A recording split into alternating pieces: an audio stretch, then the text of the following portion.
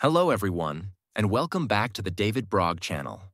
Today, I'm going to show you the how easy it is to mine Ethereum. The Unmineable software is perfect for beginners, working on regular PCs and laptops, and it's also suitable for large mining farms. Disclaimer. This video is for educational purposes only. I am not your financial advisor. This is not financial advice. Please do your own research before making any investment. So let's head to the website and download the program. I'll leave all the links in the description below. Let me tell you about the main advantages of the Unmineable Miner. It supports a huge number of cryptocurrencies and tokens that you can mine for profit. You can mine almost any popular coin or token using your CPU or GPU, even coins that aren't typically mineable. The program automates all the complex processes, making mining accessible through a simple application, which is especially useful if you have spare hardware. It's very beginner-friendly. While it's downloading,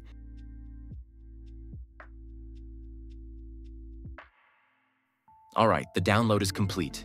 You can either extract the archive or run it directly.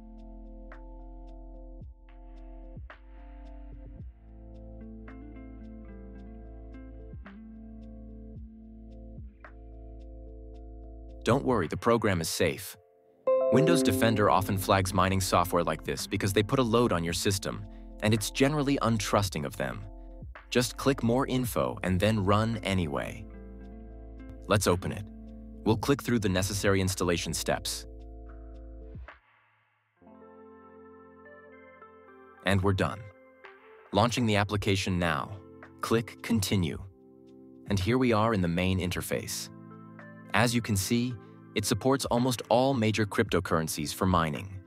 There's a huge list here, but you can also add any coin that isn't listed by default.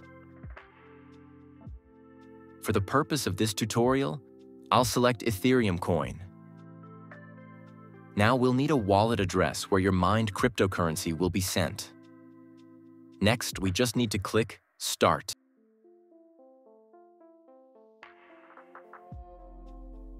I use an Exodus wallet, but you can use any wallet you have access to, or even an address from an exchange. And that's it. The local hash rate is now running. We've successfully started mining. Everything is working.